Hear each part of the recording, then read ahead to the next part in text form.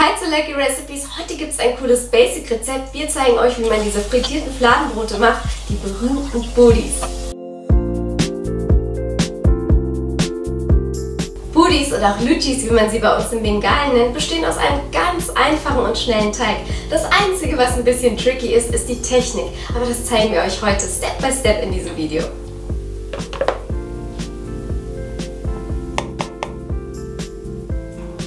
Im ersten Step mischen wir unser Mehl für den Teig zusammen. In Indien verwendet man gerne Atta, ein spezielles Vollkornweizenmehl.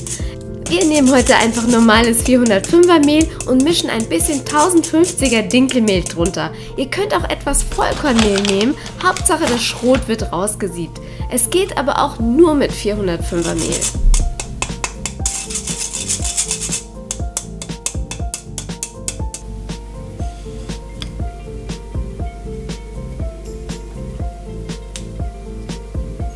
Dann nehme ich Ghee oder Öl und massiere es gründlich in das Mehl ein. Achtet darauf, dass euer Ghee flüssig ist, damit ihr es besser einarbeiten könnt. Wärmt es dazu einfach kurz in einem Topf auf. Bei so einem Teig arbeitet ihr am besten mit euren Händen. So werden auch kleine Klumpen vermieden. Ich nehme immer so viel Öl, bis das Mehl sich zusammenpressen lässt und seine Form behält, bis ich es wieder zerreibe. Das verbessert die Textur der Budis.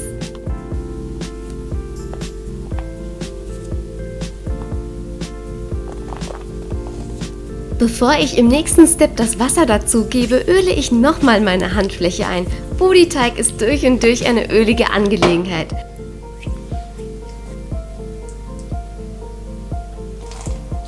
Gebt das Wasser immer nach und nach dazu und knetet den Teig so lange, bis ein Ball entsteht und er nicht mehr an den Händen klebt. Achtung, jede Mehlmischung braucht unterschiedlich viel Wasser. 15 ml mehr oder weniger können schon was ausmachen. Ich habe für diese Mischung ca. 80 ml Wasser verbraucht. Trotzdem ist es wichtig, mehr nach Gefühl zu gehen. Aber das Coole ist bei so einem Rezept, wenn man es einmal verstanden hat, kann man die Technik auf beliebige Mengen übertragen.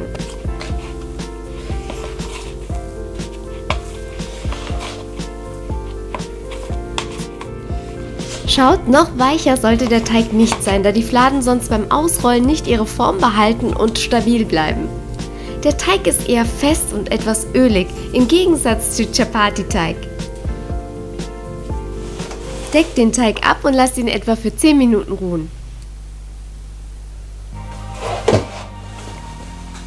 Wenn der Teig kurz geruht hat, öle ich sowohl mein Nudelholz als auch die Arbeitsfläche ein, damit die Budis nicht kleben. Es ist wichtig, dass ihr kein weiteres Mehl zur Hilfe nehmt, das würde im heißen Fett sofort verbrennen.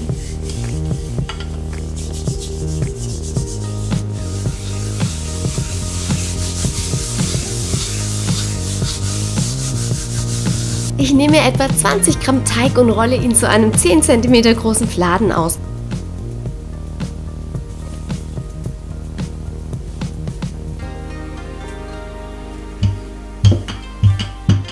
Das Ausrollen mit so einem großen Nudelholz ist gar nicht so einfach, deshalb helfe ich ein bisschen mit den Fingern nach, um die Budis ein bisschen runter zu bekommen.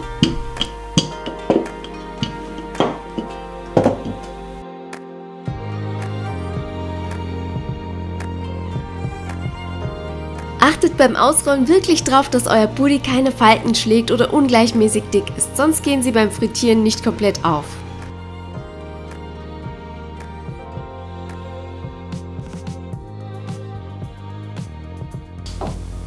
Um unsere Pudis vor dem Austrocknen zu schützen, sprühen wir ein Handtuch leicht mit Wasser ein und bedecken sie damit.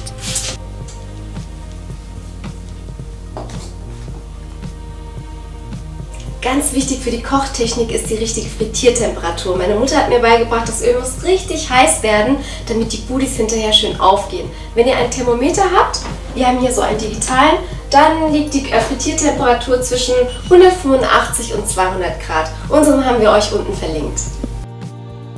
Wir haben hier Frittierfett genommen, da es hoch erhitzbar ist. Dieses Öl kann zum Beispiel nur bis 175 Grad erhitzt werden und würde beginnen bei höheren Temperaturen zu rauchen.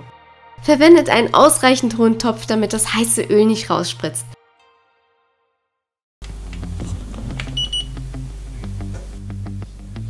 Gebt ein Pudi vorsichtig in das heiße Öl.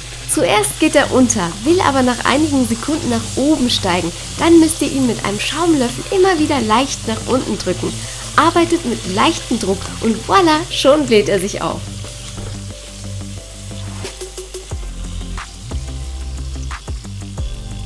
Mein Schaumlöffel greift das Öl nicht besonders gut, daher helfe ich mit einem großen Löffel nach und gebe das heiße Öl direkt über den Pudi. Das gibt dem nochmal einen extra Boost.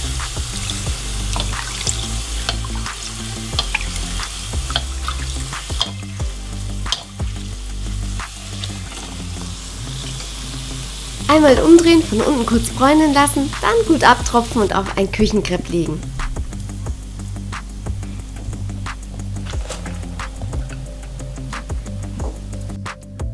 Gebt nicht gleich auf, wenn es beim ersten Mal nicht klappt und die Pudis nicht aufgehen. Sie werden trotzdem gut schmecken. Mit etwas Übung habt ihr schnell den Dreh raus.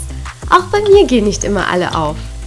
Für das beste Ergebnis achtet darauf, dass eure Pudis gleichmäßig dick und möglichst rund ausgerollt sind und das Öl auch noch heiß genug ist oder nicht etwa zu heiß geworden ist, weil das auch wieder den Pudis schadet. Zunächst habe ich das Fett auf höchster Stufe erhitzt und dann runtergeschaltet auf Stufe 6 oder 7 von 9 Stufen. Bengalische Luchis werden übrigens absichtlich etwas heller gelassen. So hat jedes Bundesland seine eigenen Vorlieben. Wenn ihr sie noch knuspriger mögt, könnt ihr auch ein Esslöffel Grieß in den Teig mitverarbeiten. Wenn meine Mutter früher diese Brote gemacht hat, sind auch alle Nachbarskinder gekommen. Auch heute noch erinnern sie sich an den einzigartigen Geschmack dieser frittierten Ballonbrote. Ich liebe diesen Moment. Budis solltet ihr frisch essen. Man kann sie sowohl zu süßen als auch zu würzigen Currys kombinieren. Sehr beliebt ist die Kombination mit solchen Kartoffeln. Aber man isst sie auch sehr gerne zu indischem Grießbrei, Suji Halwa. Und natürlich könnt ihr daraus auch eine Riesenversion von unseren Bani Pudis machen. Die Rezepte haben wir euch alle verlinkt. Wenn euch unsere Videos gefallen, dann lasst uns Kommentare und ein Abo mit aktivierter Glocke da. So einfach helft ihr uns beim Wachsen. Jetzt könnt ihr Pudis einfach zu Hause nachbacken. Wir werden das Ganze jetzt mit unserem leckeren veganen Kartoffelcurry essen. Das Rezept findet ihr hier. Oder schaut doch einfach mal auf unsere Playlist für indische Brote. Dann sehen wir euch beim nächsten Video. Tschüss!